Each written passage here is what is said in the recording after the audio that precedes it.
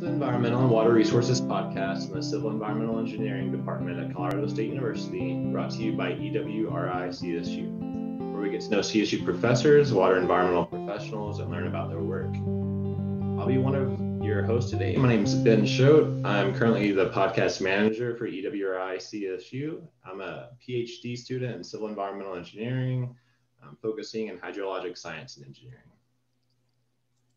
I'm your other host. My name is Liz Byron. I am pursuing a master's degree in civil engineering with a focus in hydraulic engineering and stream restoration.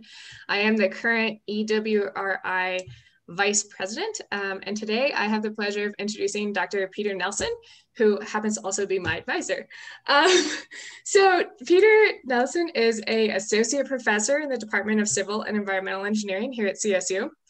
Um, he received his Bachelor of Science in Civil and Environmental Engineering from Princeton University, and he received his PhD in Earth and Planetary Science from the University of California at Berkeley. His dissertation was on bed surface patchiness in gravel bed rivers. He is currently the Borland Chair of Hydraulics at CSU um, in the Department of Civil and Environmental Engineering, and he is the Meroney Family Chi Epsilon Faculty Teaching Award uh, winner of 2019. So welcome, Peter. Thanks for being here. How are you today? I'm doing pretty well. How are you? Doing quite well, thank you. Awesome. Yeah, we're really happy to have you. Ever. So pretty fun. Awesome. I'm excited to be able to see your uh, cat here as That's, well. This is William Tail. He decided to join. Hello, William. Beautiful. Um, so let's go ahead and dive in here. And I guess if you could just sum us up, I know we gave a little bit of background, but just tell us a little bit more about your academic or um, interests, kind of your vocational passions or interests. Um, just to kind of generally characterize your field of expertise and why you generally focus on. Sure. Um, so just a, a, little more background on myself. I grew up in Washington State. I'm from Spokane originally, and actually the high school that I that I attended had a river running through the campus, and so um, I've sort of been interested in rivers for my entire life. Um, I went to Princeton for my undergraduate degree. I didn't really know what I wanted to work on, what I wanted to major in, but I ended up sort of settling into civil and environmental civil and environmental engineering once I realized that that field gave me the opportunity to do work in rivers and work on the outside and that kind of stuff. Um, and so I've been in that field ever since. Um, in uh, actually, when I was in college, I came to CSU in the summer of 2002 uh, for an REU, a research experience for undergraduates program and I did a research project on the um, Arkansas River Valley with Tim Gates as my faculty advisor. Um, and so that gave me, I, think, a, a, strong love of doing research. That was kind of my first real research experience. And then um, as a, a, senior in college, I had to do a senior thesis. And so I did some work on uh, urban hydrology in Baltimore, Maryland. Um, and then that sort of just got me on the track to doing academic research. You know, I ended up um, going to Berkeley for graduate school uh, and worked with Bill Dietrich there, who's phenomenal uh, geomorphologist. And um, I ended up, you know, staying sort of in my in my field of geomorphology, sediment transport, and um, and fluvial hydraulics, I guess, uh, that has led me to where I am today. Awesome. Yeah, I think that's really interesting. I, I know that um, you have a really interesting balance from what I can tell anyway. You do is lab work and field work. And I'm just kind of curious, like on a day-to-day basis, when you're getting up and heading to work, what kind of gets you most excited? Can, can you repeat that question? Sure. Sorry. Just on a day-to-day basis, um, definitely let any of us know if we're breaking up or anything. But just on a day-to-day basis, when you're going into work, you're getting ready for work, what aspects of your job or your research kind of get you most excited about the day?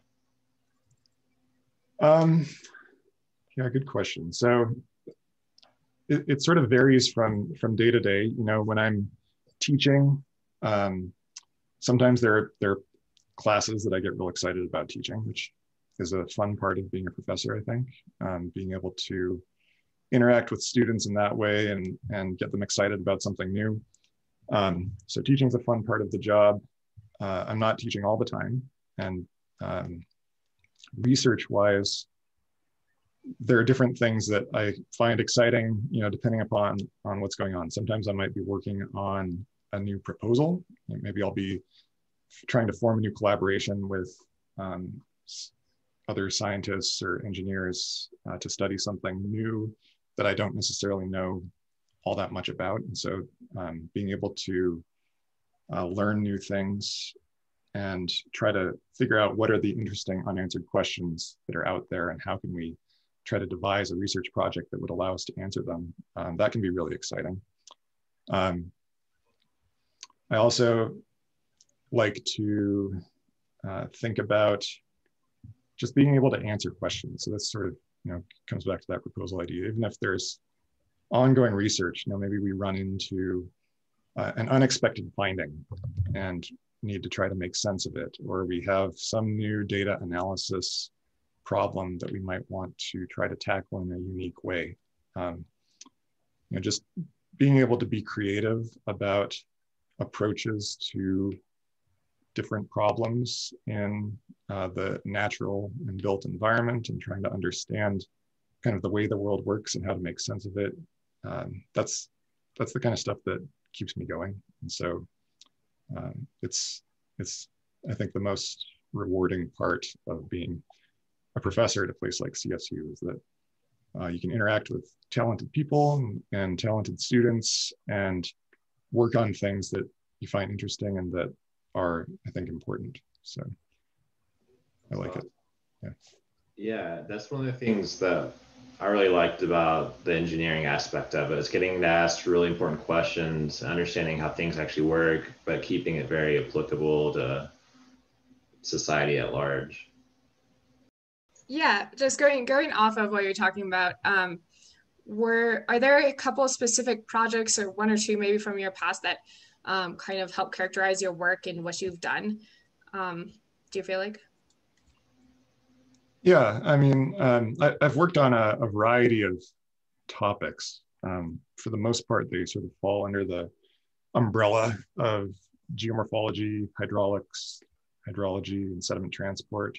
Um, and um, some of the projects that I've done in the past that are, I think, fairly characteristic of the type of work that I do, meaning, you know, trying to answer basic questions about um, how the world works, how the Earth's surface processes work, um, and trying to use a combination of approaches, like you mentioned, Ben, with a combination of field data, numerical modeling, uh, physical modeling, flume studies, that kind of stuff.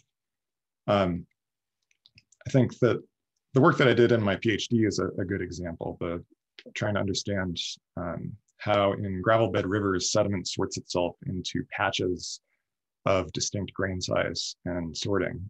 Um, and so for, for that project, I approached it from a variety of, of ways. I did some field work, you know, going out to rivers in California and um, looking at the beds and trying to sort of make sense of um, how the, the bed was sorted up into patches of sand and gravel and boulders and cobbles and everything else.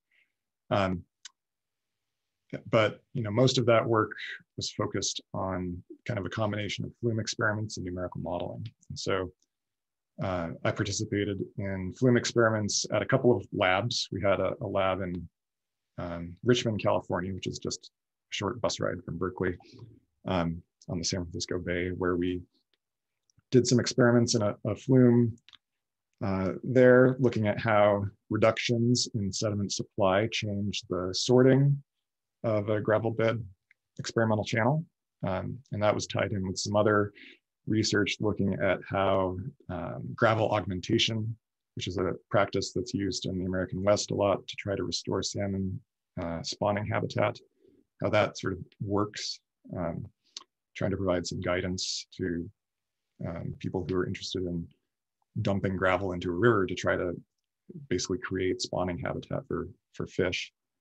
Um, and then I spent a month in Minnesota at the St. Anthony Falls Laboratory, uh, which is built on an island in the Mississippi River, uh, doing experiments pretty much around the clock uh, in a really large flume there uh, that was more of a near field scale experiment. It's almost like having a, a river inside the lab um, and forming alternate bars in the gravel bed channel and manipulating the sediment supply and making a lot of detailed measurements of um, the sediment transport and the hydraulics and the bed topography and the sorting.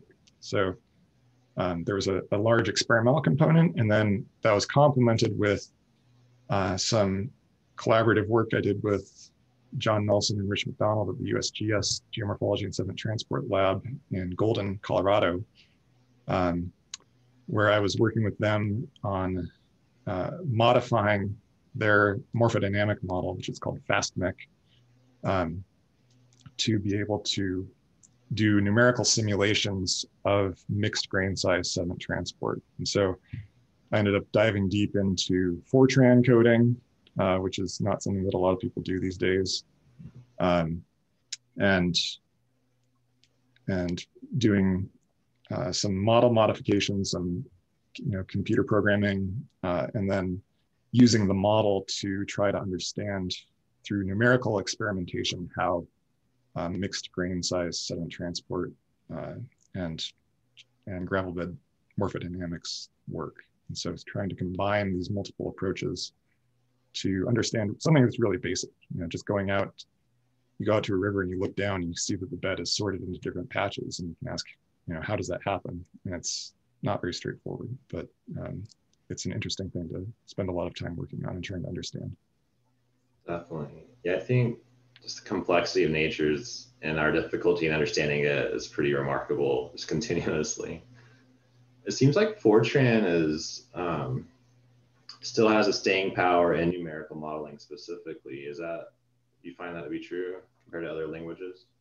It does. Yeah. I mean, um, there's all these legacy CFD codes and everything's written in Fortran and it, and it is, I think, um, it is when it's written well, it's one of the fastest um, executing languages there are. And so um, yeah. I think the combination of kind of this legacy of codes just sort of evolving over time and not wanting to completely reinvent the wheel, uh, along with the the good performance that it has, means that there's there's still a lot of Fortran code out there. But what I think what people are doing now is um, maybe taking sort of existing Fortran code and then wrapping it in things like Python wrappers or right. you know, some of the stuff that the the CSDMS group is doing, the Community Surface Dynamic Modeling System, um, which is based out of CU Boulder. Uh, they have a um, uh, sort of an online model portal where anyone who's put together any sort of like sediment model, regardless of the language, um, they have a, a, team of people whose job it is to kind of um, wrap that up into a common uh, common interface. I think is what they call it. And so, so yeah, um, we're becoming, I think, less focused on individual programming languages and more on kind of interaction of of codes that people have written in whatever they know. Yeah, yeah yeah, not to dwell on code too much, but it's really interesting. I think the this is exactly what you're describing the evolution where it's becoming more user friendly and the amount of additional research that allows where you don't have to spend three years learning C plus plus or Fortran. You can learn some surface level and just call these other codes that are maybe a lot harder to look at. Mm-hmm. Um, I want to go back really quickly, um, Peter. You mentioned uh, kind of working all over the place, right? So, and you mentioned, you know, some of the the fish spawning in the Pacific Northwest, and you mentioned working on the Mississippi, and obviously going to school out east and on the West Coast. Um, how has, I'm particularly water resources is very impacted by where we are. So, kind of how has your the the ability to have worked in all these different places impacted um, your your experiences in water resources? So I mean, I've definitely been influenced by the places that I've I've lived and worked. You know, um, the the stuff that I did in college in Baltimore is a good example of. Um, we were looking at um, problems that Baltimore had been experiencing with flooding, and a lot of urbanizing places experience increased flooding because of the altered hydrologic response. And the the part of Balt one of the parts of Baltimore that we were looking at is sort of an end member of that problem because it was developed in the late 1800s and nobody had any thought to try to control stormwater or anything. And, and they basically put all of the runoff into an underground system of pipes which then outletted to uh, some some lower part of the watershed through a gigantic pipe. And um, and it is one of the flashiest hydrologic responding watersheds in the United States because of that. Um, so, you know, working there made me think about sort of the effects of urbanization on uh, hydrologic response and flooding, and I've, I've continued to do some work in kind of urbanizing watersheds. The um, being in California for graduate school, there's a lot of um, gravel bed rivers there. And so focusing on gravel bed rivers was something that I was attracted to. Um, you know, being in Colorado, I've gotten involved in wildfire research, which, the, you know, the summer that I moved to Colorado, there was um, the High Park fire, which burned just outside Fort Collins and was at the time, I think, the second largest fire in Colorado. And now it's number six because we had the four largest fires in Colorado this past summer. But um, you know, that was the first thing that I started working on at CSU was post wildfire flooding and sedimentation. And I'm continuing to do that because we keep having wildfires, which is, you know, a, a major impact on water resources as well. Um, the city of Fort Collins had to essentially shut down the half of its water supply during the High Park fire because of all of the um, sediment and ash that was coming into the Poudre River at that time. Um, so you know that that kind of stuff is, in a sense, um, I've, I've kind of been opportunistic, I guess, in, in the type of research that I've been working on based upon where I've been and what I've been working on, and, and, and where I've been living. Um, and I think if I if I was someplace else, I'd probably be doing other things. You know, I I mentioned to you before we started that I had done a a short course in Pakistan a couple of years ago. The um, the Sindh irrigation department in southern Pakistan. Um, they operate all of the um, dams and barrages on the Indus River, which provides irrigation to most of the country there. And they wanted to learn more about sedimentation because they keep having to clean out their the areas behind their dams that fill up with sediment. Um, and I had to kind of adapt as I was going, I was there for about a week and I had to adapt midway through what I was teaching them because while most of my expertise and, and work and experience has been on gravel bed rivers, they're working on these huge lowland rivers that are filled with silt basically. And it's, um, you know, it's a different type of environment and they have different types of problems that they need to, to deal with. So, um, yeah, I mean, I've definitely been influenced by my surroundings in terms of the types of problems that I think about and what I work on. I think that kind of leads us into this next question that I, I have for you, which is um, it's really what do you see as the most pressing issues with regard to your field or research? And just kind of going off what you're saying there, it sounds like maybe that's um, dependent on where you're at and different parts of the globe, different parts of maybe probably the state even. But are there some a few specific things that you really um, think are really important to address? Yeah, I mean, th- there's there's a lot of challenges um, that say river managers or, or, water resource managers or people who are um, you know, trying to make decisions about how to how to deal with maybe disasters or um, water resources management problems um, that people are facing. And you know, I think I think one area that's been getting increasing attention and is continuing to become more and more uh, relevant is you know, everything that we have to do associated with dams, especially in the United States. Um, and there, there are a number of there are a number of, of issues associated with dams that um, I think are, are fairly pressing. The first is that a lot of the dams in the United States are 50, 60, 70, 80 years old. Uh, they were not designed to last longer than that, which kind of reached the end of their design life from when they were built. And so consequently, um, the dam owners or the communities that um, manage the dams are faced with a bunch of decisions as, as, far as do they want to try to relicense the dam? You know, do they want to take the dam out?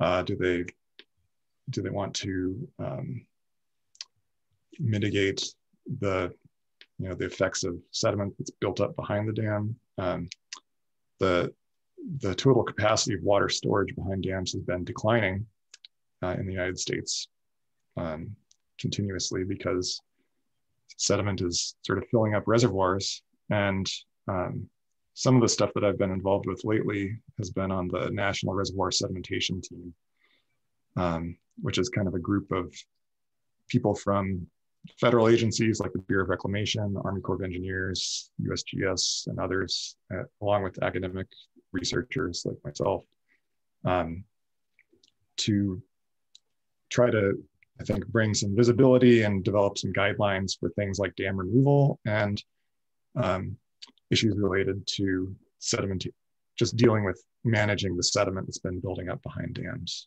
Um, one of the interesting things that I worked on in the last year was a collaboration with Desiree Tullos, who Liz knows, and Rollin Hotchkiss and Dave Wegner, um, where we were looking at the um, the issue of permitting uh, that dam operators need to go through if they want to try to move sediment from the reservoir down into the downstream uh, reach below the dam. So one of the big problems that dams cause is they trap all the sediment and the downstream portion of the river below the dam is starved of sediment. And so there's all sorts of geomorphic changes and changes to the habitat happen because of that lack of sediment supply that the dam has imposed. So there's there's kind of a dual problem with the dam trapping sediment. The first is this downstream effect, and the second is that it's trapping the sediment and the reservoir is filling up with with sediment and it's not going to be able to hold any water at some point. It's going to be it's going to no longer be a useful uh, structure for any reason. And so one approach that could potentially solve both of those problems is having a, I guess, a, a, reasonable way of bringing sediment from the reservoir to the downstream reach. If you can sluice it through the dam or dredge it and put it back in the river or something, there's, there's different ways that, that people can do that. And it's almost never done in the United States, in part because um, the way the regulations have been written just getting permits to to pass sediment from the reservoir to the downstream reach is like impossible. It's it's extremely challenging, and so it's generally easier for um, dam operators to just dig up the sediment and and you know stick it in a pile on the hill slope someplace else, as opposed to resupply the sediment downstream. Um, so sorry, just real quick. So the the challenge and the or the reason that permitting is difficult is because they think moving the sediment might damage the downstream owners or whoever. Yeah, that, that's part of it. I mean, part of the issue is that sediment is classified as a pollutant, um, and sediment can be a pollutant if it, especially if it has like heavy metals that absorb to it or something like that. But um, the the problems that we were trying to focus on with this work that we were doing over the past year was um, you know trying to i guess encourage the regulatory agencies to maybe a, have have a, a, more open mind i guess as far as allowing people to just move the sediment downstream. Because in, in a lot of in a lot of cases uh, the you know the benefits would far outweigh any sort of risks i think for doing that. when you're working on a project like that, Peter, is it typically when you talk about work, working with like regulatory agencies? Um, obviously, that's a national problem. So, are you working with organizations like FERC that are a national level, or is it? Do you see changes like that happening more in a state by state basis? Um, yeah, it depends. it probably depends on the specific problem. Um, in this, you know, in this example with the reservoir sedimentation stuff, um, I think it's more something that would have to be addressed by the U.S. Congress. And so, um, you know, some of the stuff that we've been talking about as a committee is trying to um, develop materials that congressional aides might read, which then they could talk to their, you know, the congressman that they work for, who then might bring this up in a, a committee in the Congress, and then possibly at some point lead to a, a change in the regulatory policy. Um, so it's, I mean, it's pretty far afield from what I do on a normal day-to-day basis, you know, doing experiments in the lab and stuff. But um, it is, I think, important to try to um, try to make sure that you know the what we're learning scientifically is going to maybe be able to make changes to society. Is that sorry about the policy aspect questions, but is that um rooted still probably in like Clean Water Act, mm-hmm. like as far as back as the 70s, probably. Yeah, I think it's the Clean Water Act. Um, yeah, it's so yeah, interesting and ironic to see something that the science it sounds like is like we need this to occur, and then the regulations saying like that's a bad thing, don't do it. It's pretty wild. Yeah, well, I mean, we'll we'll see what happens. We ended up writing a um, a paper that's going to be, I don't think it's been published yet, but it's going to show up in EOS, which is the um, American Geophysical Union magazine, um, with some recommendations that we came up with. Um, and so, you know, our hope is that that's going to be a start maybe, and, and people will start to think about this a little bit more. Definitely. Um, I know there's been, I think I saw a graph somewhere along the way. There's actually a, a been a net reduction in the number of dams in the U.S. Maybe, but I'm assuming there are still new dams being built, and it sounds like there's a need for a lot of um, dam renovation or restructuring. Are are newer? Do you, are you aware if newer um, implementation of dams are implementing some kind of um, sediment um, pathway I don't like or just any kind of technologies or approaches that are built into the dam itself? So there's there's basically no new large dams that are being built in the united states. That that era is pretty much over.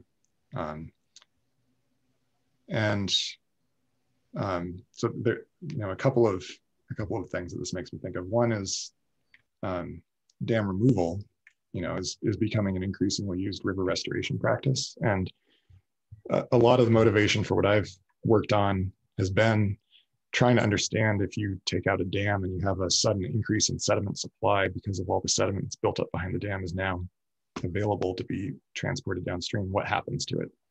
How do rivers respond to changes in sediment supply? And so that, that's been the focus of a lot of, of the work that I've done. Um, your question, though, about sort of new dams and new dam technology, um, there, there's not a lot of new dam building going on, but but I think that where it is happening, it's generally these smaller, what they call run of river dams. Um, the Obama administration um, did some regulatory changes that I think made it a little bit easier. There, there's less red tape to to put up sort of these smaller structures, which might be for small hydropower projects, let's say. Um, and that's actually, that's an area that I'm interested in starting some new research. And I've, I've um, got kind of a proposal that I'm in the middle of working on to, to try to better understand how small run-of-river dams affect uh, sedimentation and morphodynamic processes around them. Um, because there's, there's kind of an assumption that a lot of people have that sediment just passes over small dams and they don't really pose a, a barrier to sediment, but that's not totally clear if that's the case. Um, and if if it is or if it isn't, you know, the, the mechanisms by which sediment, sediment actually can move over these small run-of-river dams is not really very well known. Um, and I've, I've also heard about some sort of smaller dams being kind of dynamically operated, almost like a um, like a balloon or something, where they can kind of be deflated at certain flows and in, inflated at other flows, and and being able to kind of raise and lower dams at different times might be another sediment management approach that um, people could use for those types of structures.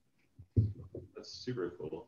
Yeah, I've heard of. Um, I'm wondering if it relates to you, but in the context of, I guess, ecosystem restoration or stream um, restoration, uh, environmental flows, and actually using dams to manage, you know, have, make sure you get like large flushing flows or that kind of thing. Is that something that's also considered with respect to geomorphology? Um, I, I think it hasn't been considered enough. Uh, you know, the a lot of the environmental flows uh, have, you know, they're they're focused on like the biology. You know, they want to get um, certain certain amount of days above a certain discharge for fish or something, and and and that is associated with, um, you know, some sometimes the goals are to sort of like clean out the silt settled in the larger gravels of the bed downstream or something. Um,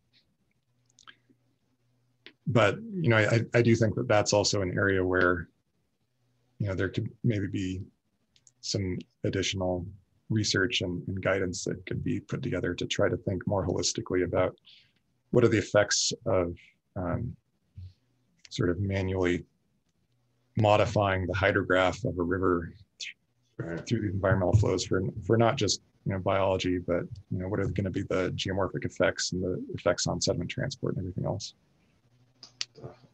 sounds like there's a lot of challenges and opportunities. Um, I guess, do you have any specific maybe advice or directions for early researchers or young researchers that are interested and maybe how to uh, how to attack or approach solving some of these problems?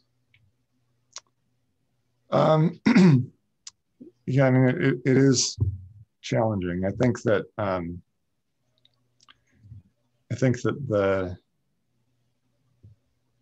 one of the more important things that somebody might be able to do is to have uh, a, tr try to get a sense of what do we have a good handle on and what don't we. So anything with sediment transport, um, if, you if you have a model or something, you're trying to calculate sediment transport rate for a given flow, um, the, the number that that model spits out is not going to be, you know, don't take it as gospel. It's the, the, one of the biggest. You asked about the, the you know the big challenges in the field, and I think one of the big challenges that we face is that we're still not able to predict sediment transport rates better than within like an order of magnitude or a factor of five or a factor of two or something, and and that's kind of a a, big problem if you're trying to make a precise quantitative prediction about what's going to happen if you do something. Um, so um, you know, people who are, are getting into this field or are working in this field, um, I think there's a lot of opportunity to kind of identify what are some of these sources of uncertainty that we have in the different aspects of how everything interacts in, in a fluvial system. Um, and then tr try to find something and just try to improve it a little bit. You know, if we can make small improvements in uh, you know, our understanding of what flows do sediment start to move at, or um, you know, what causes sediment to deposit in certain locations, and how does vegetation affect things, or you know, um, being able to make make progress in those types of you know sub questions that uh, when you combine them lead to the the um, I guess a better understanding of of how the entire system works and how we can model it and make predictions. Um, you know, being able to identify those problems and then and then come up with something that will do an incremental improvement in our understanding of the system is sort of the best thing to do. And then if you are in, on the decision making side of things, um, acknowledging the uncertainty and and you know being sort of flexible in in your interpretation of the results of models or or whatever else, um, so that you can maybe be able to dynamically uh, change your approach if you need to, um, if something's not working out exactly as planned, just due to the inherent uncertainty in our ability to to make quantitative predictions of sediment transport and that kind of stuff. Your comment about models just reminded me of that that quote of all models are wrong, but some models are useful. And it feels like increasingly as engineers, we are expected to give these quantitative values and you put numbers into Excel and it gives you to five decimal places. And you're like, it's not, that's not right. Um, and so it seems like there is this, in some ways, a shift of you were talking about how um, a lot of environmental flows are focused on biology and they're potentially needing to be these these bigger collaborations because we can't know everything about the hydraulics and the sediment and the biology and the ecology. Like that's just so much for one person. Um, so with these kind of bigger issues have you started seeing um, i guess collaborations across disciplines more in the recent years? Yeah i think that's that's definitely the direction that um, scientific research in general is headed, at least in, in this area. Um, and uh, agencies like the National Science Foundation are trying to encourage that. So um, the, the, one of the big focuses that the NSF is now doing is what they call convergence research, which is kind of a, you know, encouraging transdisciplinary collaboration and trying to get people from different fields to to talk to each other and work with each other and try and try to get a common, I guess, a common vocabulary to attack these challenging and, and wicked problems. Um, so that's that's definitely, I think, becoming increasingly essential to be able to to work with, um, you know, work with have physical scientists, work with life scientists, work with social scientists, um, to try to attack these these problems from multiple um, perspectives and um, converge on on a solution. So that's yeah, that's a that's a great point, Liz. That um, these problems are not one dimensional by any means. You know, they're they interface with all sorts of um, parts of society and, and many different academic fields as well. you've addressed some of the um, the the problems that you see in the future in terms of the the technical challenges. I mean, you're talking a lot about about dams and some of the problems associated with that. Um, to address those, do you feel like there is a large component of of governance or other areas that that we have to address as well in order to address those changes, or do you think that the answer is largely technical and we just need to go fix our dams and have them not collapse? um, I don't know. I mean, um, I guess one one way that um, that governance can maybe improve things is is through the way that they prioritize funding. You know, all scientific research is is driven in part by by funding and being able to to get support to do the kind of research that you think is important and um, so I suppose, um, you know, agencies like the the NSF um, can encourage certain types of research if they want by prioritizing certain types of um, of projects that or you know programs that they might want to uh, develop. So you know this convergence research is a good example. I think um, but then you know there is like you said the infrastructure side of things infrastructure is a a, a major issue. And um, between you know things like dam relicensing and removal or um, just general you know stream restoration projects that are being done all over the place for for whatever reason whether it's motivated by some sort of um, you know ecological impetus or you know community wants to build a whitewater park or something and and um, revitalize the part of town that the river runs through, or you know, whatever else. There's there's they're going to run into um, questions and decisions that are best, I think, guided by uh, research that that we've been doing or could do in the future. And so, um, having that societal impetus to, you know, continue to address important questions related to uh, geomorphology, hydraulics, and hydrology is important. That's really cool. And I apologize. I have a follow up question that is kind of from a couple of questions ago. I apologize for kind of being out of order here, but I can't help but wonder the uncertainty seems like such a big challenge and um, just thing to address in general with regards to the modeling and predicting um, you know different geomorphological responses.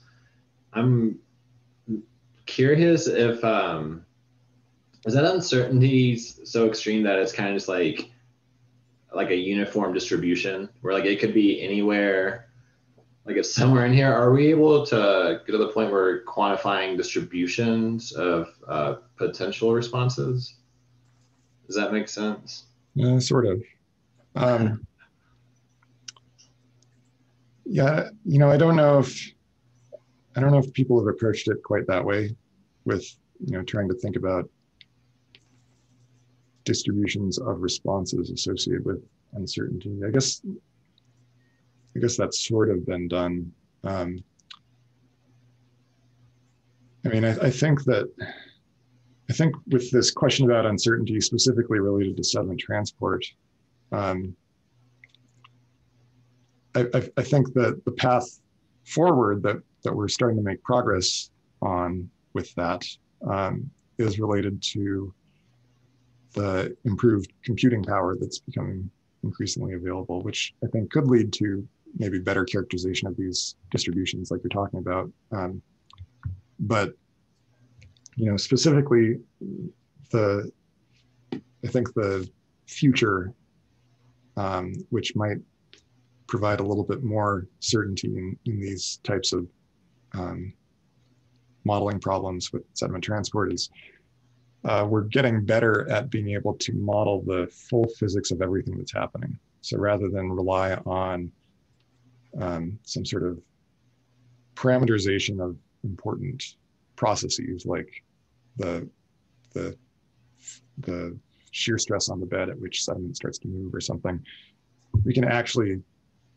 combine hydraulic and uh, particle modeling in a supercomputing environment to compute the full distribution of forces that every single sediment particle is experiencing. Um, with, really cool. Like, improved turbulence modeling and, and, that kind of thing. And that can only really be done at small scales right now.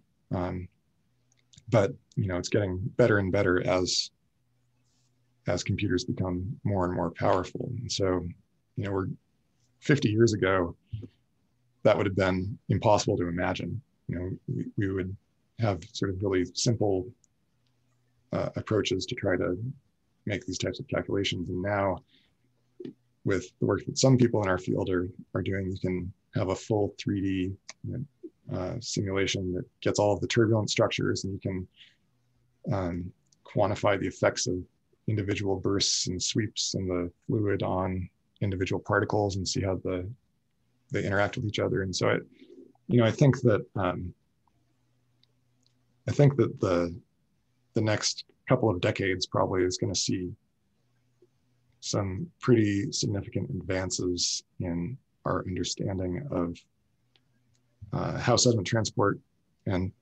fluid flow sort of works and how we're able to um, to i guess numerically quantify you know what sediment transport rates are and, and hopefully translate that to improvements in uh, larger scale models that might be used by decision makers.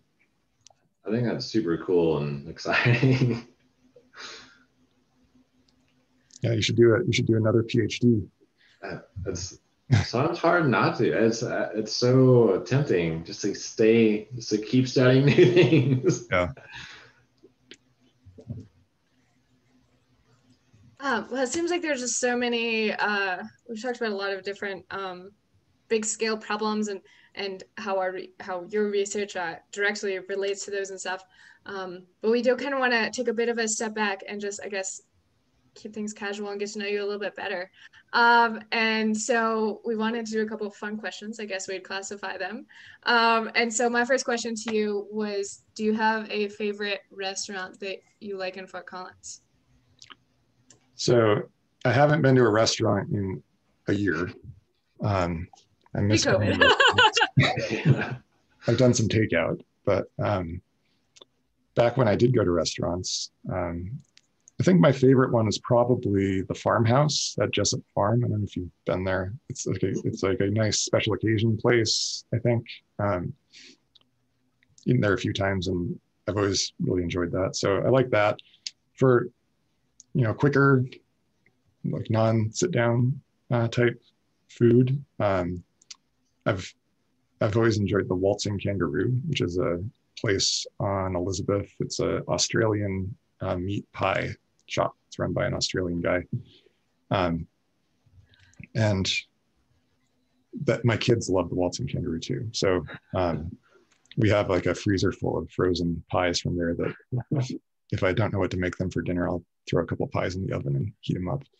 like that name in and of itself makes me want to go. That's just a great name, I think. The yeah. Waltzing Kangaroo. Yeah. Right. Puts a nice image in your head. You're like, what does that look like? so speaking of COVID, have you picked up any new hobbies in the past year or are there hobbies that you've continued during this time to stay sane? Yeah. Um, I think I do more crosswords now than I did before COVID. Um, and uh, I, you know, I've, I've always been a, a runner so I, have continued to run, although um, with the fires that we had last summer and you know snow and and ice and cold and everything, um, it's not always easiest to go outside to go running. So um, one thing that we got in probably May was we bought a spin bike. So I've been doing a lot of spin classes in my basement as well. Um, so that's been fun. It's been fun to pick that up. Um, so I, yeah, I don't necessarily have any new hobbies thanks to COVID, um, other than sitting in my house. but, um, yeah, just trying yeah. to stay active in a safe way and and you know um, keep my mind occupied. It was a yeah, little intense with that smoke at the end of the summer, leading right into winter. It, it's like coronavirus, the smoke right into winter. Really, was needing to get outside in some nice weather. It, it, was like the end of days. I mean, and and it snowed like on Labor Day, which is, I mean, it was it was the the fire was burning. It was raining ash, and then and and the skies were orange, and then it stopped raining ash and it started snowing actual snow. It was just like it was crazy. The world is coming to an end. I mean, but in some ways it felt right. I remember there's this one week, sometime maybe in September, and it was blue skies and sunny, and then and then like that weekend it hit and it was just you know gray, yeah, the raining ash, and I was like, wow, this feels so much more comfortable. I'm so much more used to this now. Like it just it just fit the the vibes of the time. But the snow is actually a relief to some extent to knock down some of the ash, but then you're still just stuck inside or not able to do a lot of that outdoor stuff. Um, yeah, I remember I saw it. Uh, um, like one of the local news stations had like a weather map that they popped up. It says the state of Colorado, and it had fire around the entire. You know, they had like the you know the cartoon of fires all over the, the border and then in the middle it had snow. It's just like yeah. 2020 was a good one. Awesome. Um yeah, let's start kind of wrapping up. Ask a few just follow-up questions here. Um and we'll, yeah we'll kind of start wrapping up. So you brought up a lot of really great um, potential paths forward as far as research and a, a, bunch of challenges that need to be addressed. And um, I, your work's just really interesting. I really appreciate the kind of attempt to have this physical understanding of all the processes. I think that's personally, I just think that's super cool. Um, my question is, do you have any specific advice, kind of generally, for new researchers thinking kind of maybe undergrads through grad students that are really trying to get into research or um, in academia in general? Again, not necessarily like technical advice, but just generally, how might you approach that? Yeah, that's a, that's a great question. Um, so I think one of the most important things to do is try to find something that you're interested in and try to find a good mentor to help help guide you through that. Um, so like when i was thinking about graduate school myself you know i um, first of all I, I, had a great mentor at my undergrad. Um, my senior thesis advisor jim smith who's a hydrologist at princeton. Um, i was talking to him about graduate school when I was thinking about it. And you know, his advice was find find find the advisor that you want to work with. You know, find somebody who you think would be great to to work with, especially for a PhD, which can be a very long process. Um, and so that's that's sort of how I ended up working with Bill Dietrich at, at Berkeley because um, I was interested in in working with him, and you know, I thought he did really cool stuff. And and that turned out to be a great decision. Um, and when I was working with Bill, I, I, would say that the most important thing that I learned, um, besides you know trying to improve my ability to write, communication is super important, and Bill's a great. I mean, he's a he's a very um, say harsh editor of writing, but it improves you. Um, the thing that I really learned from him was how to ask questions, like the especially if you want to get into kind of academic science, being able to identify and ask questions is really like super important. So whatever field you're in, um, I think that that's something to really try to be conscious of and cognizant of, and try try to improve your ability to get a sense of what it is that that you're working on and what the unanswered questions are and, and be able to ask those questions because then that will provide kind of a map to the rest of your career potentially if that's the path that you end up choosing. Awesome. I really appreciate that advice. And um, i think it's good for me to hear even though i'm already my phd it's just really well-rounded advice i think. I i know at times i've struggled with um, being tempted to pursue like a skill or something for the sake of the skill and losing track of the question. That is something my advisor has been able to help me a ton with is like say question oriented, what's the knowledge gap? So I really appreciate that. Being reminded of that time and time again is very important to me. yeah. I think that uh, even even as a master's student, uh, I can say having worked with you, Peter, is definitely I feel like made the grad school experience, and I feel like depending on how you work with an advisor, it can make or break that experience even for two years. Because even as a master's, it's not it's not as long as a PhD, but it's long enough that if you don't get along, then it's it's going to be a really long two years, and it's already a, a difficult time. But it's it's been a pleasure. And it's definitely um yeah, I feel like been a great experience, like having having that that mentorship. So yeah, great. Awesome. Um, yeah, I guess if anybody wanted to get in touch with you, is it okay for them to reach out and email, or is there a good way, a preferred way that you have for people to reach out to you? Yeah, e- email is is the best. Um, okay. I don't answer my phone if it's an unknown number. so either. Um, yeah. They've gotten really good at disguising the unknown numbers now too. So yeah, it's a shame. Um, awesome. We'll add your email address to the intro slide and the outro slide. And actually, it might be currently showing over here if you're watching the video. Um, awesome, Peter. I really, really enjoyed the conversation. Uh, it was really insightful. I learned a lot. And um, yeah, I guess my last note before we kind of sign off is my main interaction with you in grad school was through hydrometry. And that was still hands down one of the funnest classes I've had. I mean, I partly because you're outside, but it's just super practical skills that I feel like we were able to get. And um, was is a lot of fun. So I, I really appreciate that. I'm glad you liked it. Yeah, absolutely. I recommend it to anyone and everyone. Um, so thank you so much for joining us today. And um, thank you, listeners, for joining the Environmental Water Resources Podcast from the Civil Environmental Engineering Department at Colorado State University, brought to you by EWRI CSU. Be kind to each other.